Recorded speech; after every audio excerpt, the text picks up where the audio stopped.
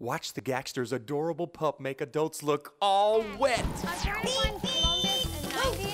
No, two blocks that way. Like, there's an exit right there by the. Yeah. All right. Thanks. Good luck. Thanks. Oh! oh. oh. Sorry. oh, sorry. I guess he really had to go. Whoa! Sorry. Pooch gotta go. Oh, oh Elvis.